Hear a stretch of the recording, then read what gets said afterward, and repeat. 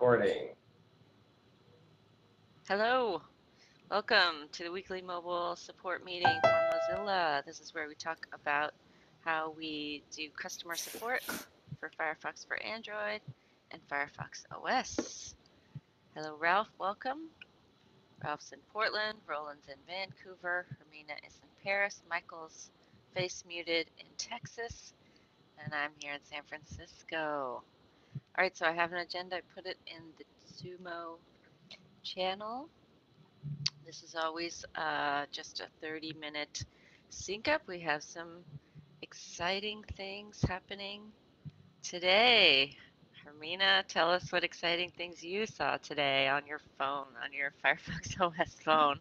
well, I was I was kind of expecting it since yesterday because uh, Guillermo from Telefonica told me that today is the big day and they are updating it. So um, yeah, I, I, had a wonderful update on uh, on my ZTE on the ZTE from Spain and it uh, worked. I used my 3G connection and not wireless because I wanted to see how uh, how it works. Actually, I wanted to use the uh, the Spanish SIM. You know, like Telefonica has this great thing that for all the prepay and postpay users, they can download these updates for free. So if you're on prepay, you don't need credit. If you're on postpay, you don't lose, you know, uh, mega for download downloading it, which is cool.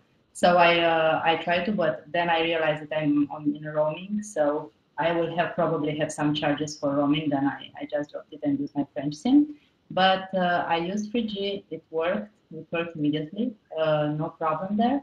Uh, I didn't have like uh, I, I, wanted to play with it uh, a bit. What I've noticed, and I think uh, I think Michelle mentioned it as well today. Uh, it's about uh, the GPS thing because you know I, I found that bug on AGPS and I was kind of following it to see if, uh, if it's better. So I, I checked that one, and it's for me at least is like one thing I've seen. It found my location, which already I'm not pretty sure I understand because I was still inside. So I was still in the building. So well, but the thing is that it it, it saw me, you know, in uh, in Paris night, which is great. And uh, I uh, I also looked for uh, for a close location and it found it immediately. I mean, it didn't take, you know, usually it was taking me, I don't know, one minute or two minutes to stay and wait, and now it, it went immediately. So I was pretty glad. But uh, apart from this, I will have to check, to check for other things as well. Awesome. I had the same experience here in San Francisco with my Spain phone. Um, I used Wi-Fi um, because I don't have a chip in this phone right now and everything looks great all my data is there um, and there's a new app for youtube i think that was one of the new um, mm-hmm. things that's in 1.1 which is really cool and um, and my gps is finding me inside also so ah, uh, so great work on that hermina um, i know that you drove that one uh, from the start and um, so I don't know. Um, this is very exciting. So it's just for Spain so far. So not but, Movistar. Um, I don't see. What's that, Roland? Not for the Movistar phones. The uh... yeah, the the Movistar, yes, it's Movistar. Movistar Spain. Okay. Um, just so um, so not yet for Colombia and Venezuela, but um, I think it's really exciting since we started um, almost exactly three months ago. So, so it's very cool to have the 1.1 update already going out to customers. So thanks, Hermina, for that update. Um, and see. just just to, to, to, to add something on this for uh, for our contributors and uh, and all our friends from Spain, we have all documentation on 1.1 in English. I think we have it in Spain as well. But if you could have a look, you know, and just check it and make sure everything is all right and just, you know, modify anything that has to be modified, it would be highly appreciated. Yes, thank you. Um, and oh, what I was going to say is I haven't seen anything on the Mozilla Hispano forum about this yet today, which is, I'm surprised. Um, I haven't seen any posts about this from anyone in Spain yet saying that they did get the update. Um, but of course, we'll be watching it uh, for the next few days. And um, we also launched phones in Germany yesterday with Congstar, which is a branch, uh, an operating business of Deutsche Telekom. And there's a link there to their front page of the Congstar website, which is pretty awesome. Um, so we should be very excited in Germany uh, that they have Firefox OS devices as well. Uh, Verdi, you want to give your updates? Um, well, uh, Hermina just said it. I mean, basically, 1.1 stuff is all done. It's been localized um, in Spanish. I think everything, and uh, other locales are in progress. Um, and over this week and next week, I'll be working on the rest of the top articles. Many of those 1.1 articles are also top articles, but um, so other things that are, you know, stayed the same uh, top articles I'll be working on uh, this weekend next. All right. Cool. Um, okay, so I put in the Ralph. Did you have any updates on um, B2G Firefox OS from this week? Uh, no, no updates. Uh, the translation uh, is in progress, uh, and we're getting we're getting help from the contributors. Uh, so we should have the um, the the what's new in well the what's new in 1.1 article has already been translated, and we're trying to get all the uh, multimedia and the most important articles out of the all, all, translated. Um, and Thank you. That's awesome.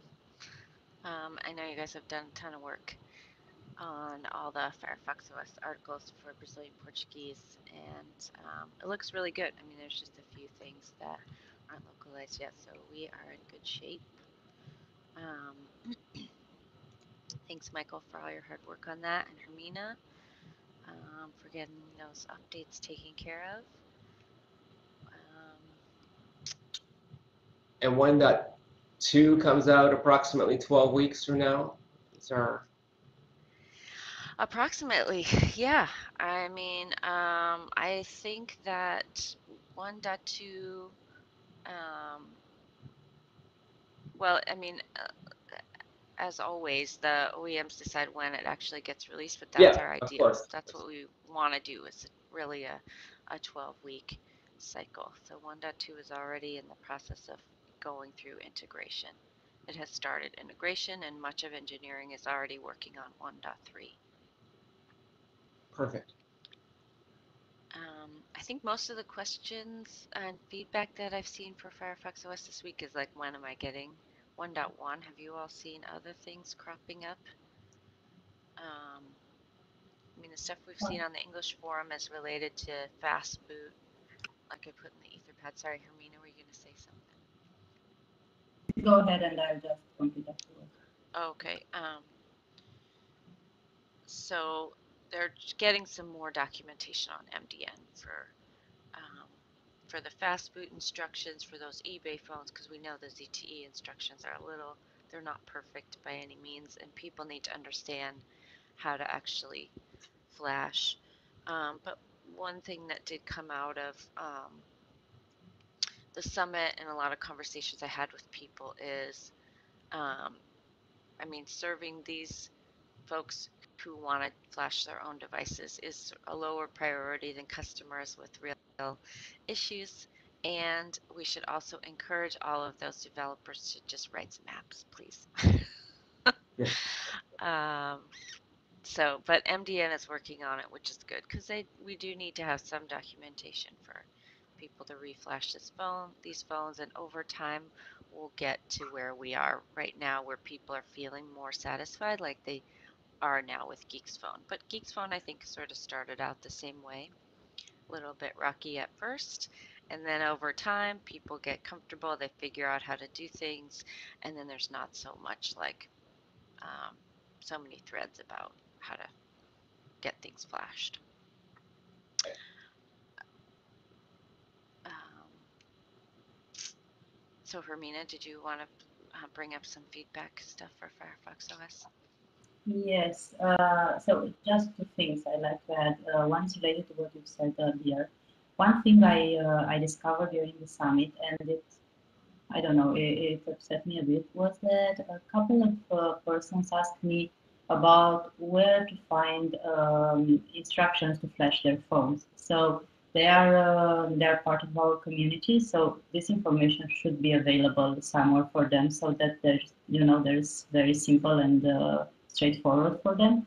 So this was one thing I I kind of supposed they already know this, um, and maybe we I don't know want to follow up uh, on this a bit. It's my fault. I I remembered only now that I had this conversation. Uh, now that you mentioned it, so I will maybe try to follow up in the next couple of days.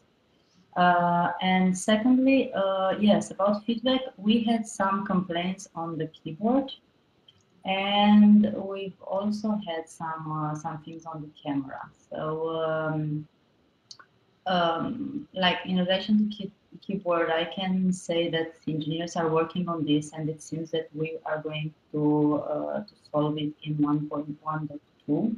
So it's we, we have to, to wait a bit. It's uh, like people were complaining about uh, keyboard not being uh, like the buttons not being very reliable, and even if you press them hard, it's sometimes it just didn't happen, you know, for you to be able to write proper message, which happened to me a couple of times as well. Uh, I I wouldn't generalize, but it happened. Uh, that's why I followed up and uses that in one two will be so will solve this.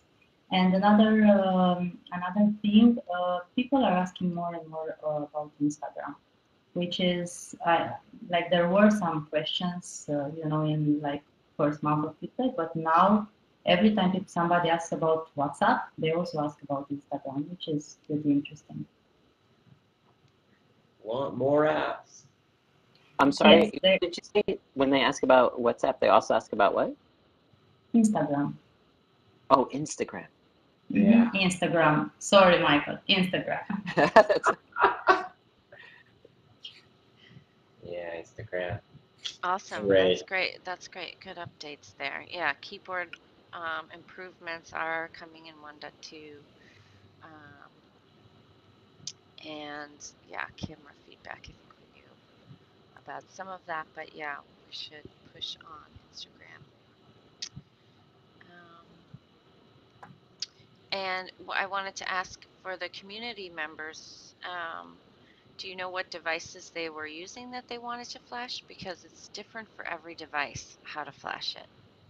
So it Yep. depends what they're using. If they have, Sure. most of our contributors that I met at the summit have Geeks phones. Yes, they they were asking me about the Geeks phone as well. Oh, so they have good instructions on the geeksphone.com website for flashing. Super easy. Yes, it was just that they didn't know they have to go on Geeks phone website to flash it, you know. So that's why I was surprised because for me, I, I thought this is a like a thing that they know, but they didn't. Maybe I'm like I, I got this question from three persons, I think, three or four persons. Maybe it's not like you know something that you can generalize, but anyway, maybe we want to have it available somewhere. Yeah, that's a good point. Well, and mo- a lot of the people who have the f- devices are reps. And so, you know, they probably weren't trained at all on flashing. Um, and, and- and it may not have been um, a thought.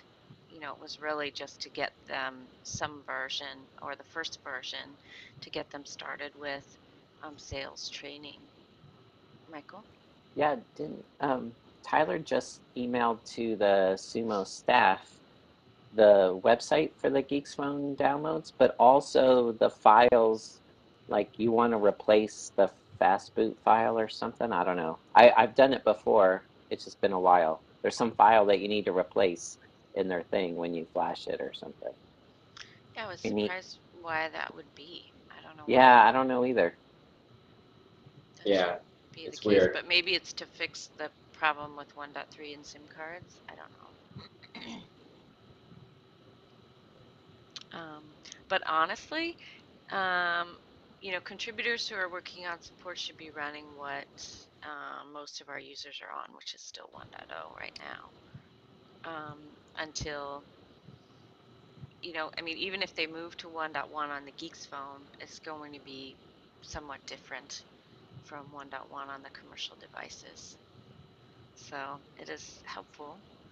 Um, Oh, really? One dot one, the Geeks phone is different. Okay. well, yeah.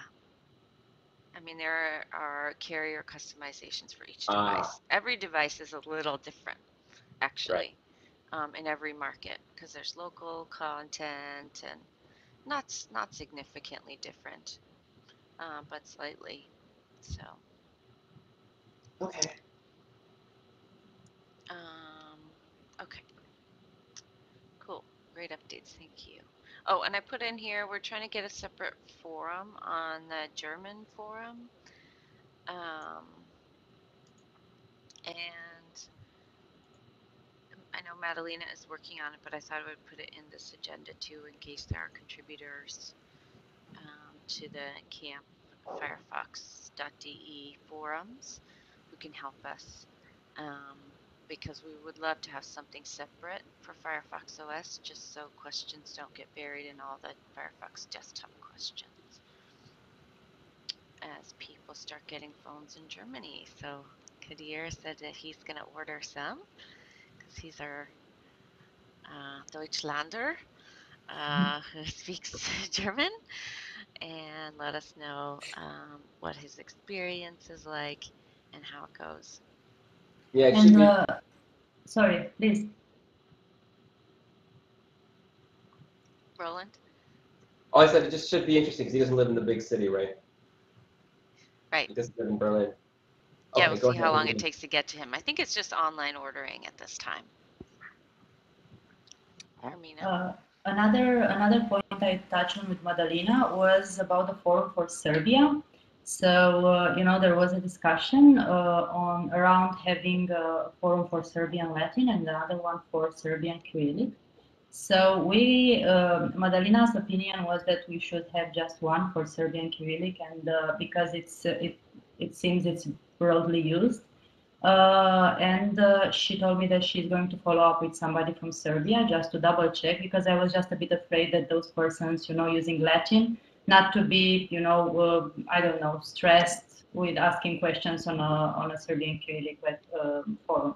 So if there's somebody from the from the Serbian community who is going to, to see this video, please let us know if uh, on your feedback. Is it better to have two forums or just one? Is it like is it true that Serbian Cyrillic is widely used and Latin is just, you know, a nice item to have or, or not?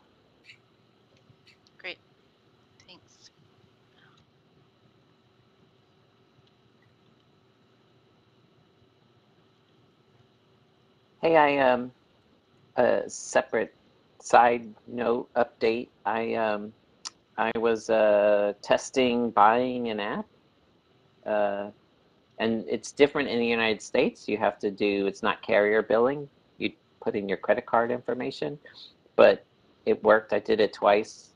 I mean, Yay! I mean, it worked no problem the first time. The second time, you just have to put in the pin that you create when you uh, when you set it up the first time, and then you can buy all the apps you want after that.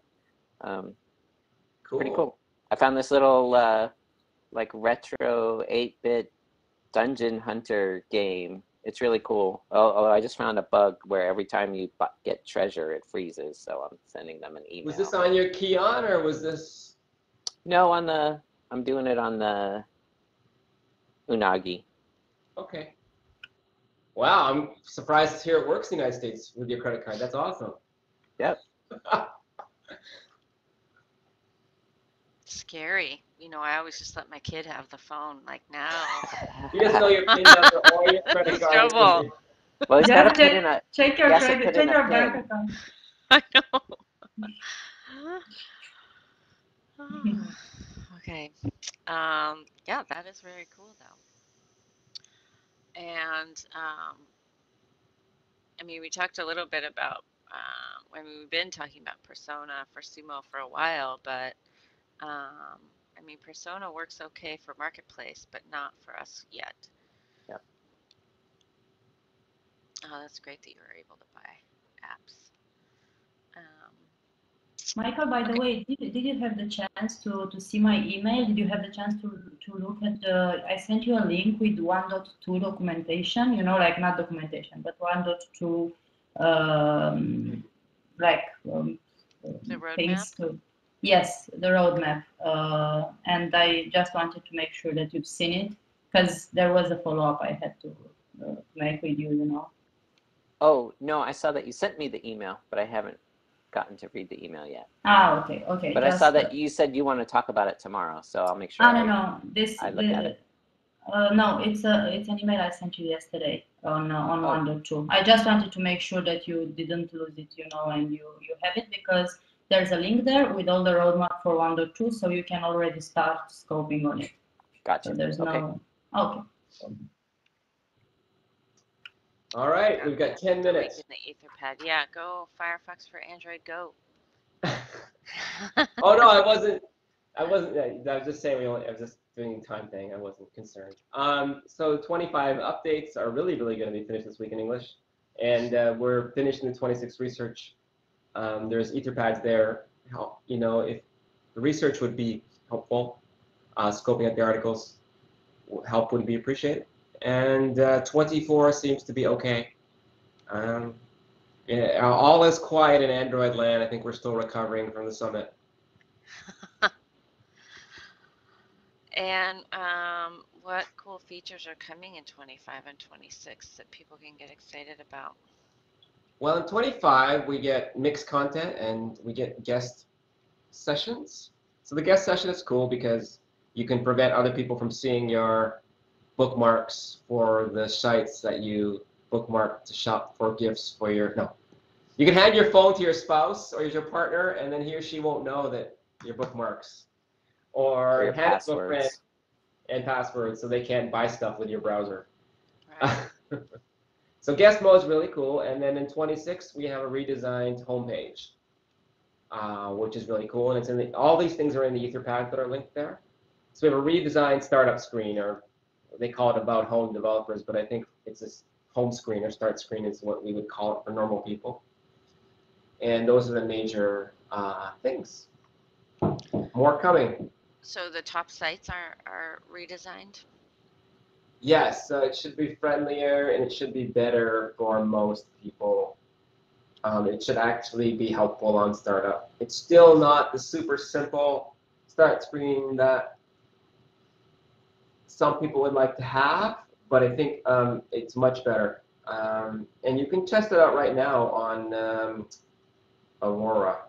If for those uh, thrill seekers, you can see the new About Home screen on Aurora uh, which you can download from, I guess, aurora.mozilla.org. Firefox Aurora, which is not in the Google Play Store for thrill seekers. Awesome. And that's it. Okay. And mixed content, is that mixed content blocking? Yes. Yeah. Yes. Just like desktop, basically. That's in 25. And 26 has the new really designed homepage. 25 also has the guest session that I just talked about. Cool. Those are And that's it. changes. Exciting. Thank you. Um, is there anything else we should add to the agenda? I see Naoki put his um, QA updates Oh, cool. Thanks, um, into the Etherpad. Flashing in 1.1 on Inari is still a concern. Um, so something going on with the fast boot there again. Open issues. Um, the Wi-Fi not staying consistently, and um, oh, and the landing of ringtones Yeah. into 1.2. I've, um, yeah, only 1.3. 1.3 is probably the best we're going to be able to do for that, which he's adding right now, which is funny. Um, yeah, and then we got the uh, over the air update to 1.1 today. So, yes, everyone's very excited to see that. Um, all right, Cool. cool. If there are no other updates, thank you all for joining our weekly mobile support meeting. We'll be back here next week, same time, same place. And um, again, contributors can help with um, scoping Firefox for Android content updates and also tell us how you um, work in the Serbian Cyrillic or Serbian Latin, um, if you have thoughts on that. And Yeah, there's a Serbian dude who's supposed to show up at the Vancouver office this week. I'll talk to him about it. His Oh, name is yeah, would you Boris. ask him? I will if he shows up. He said he would be here today, but I haven't, he hasn't texted me. Or yesterday. Great. Anyways, Boris, I know you're not listening to this recording, but if you are, there's a question for you. Awesome. Okay, thanks everyone. Have a great Thank week. you. Bye. Ciao. Bye.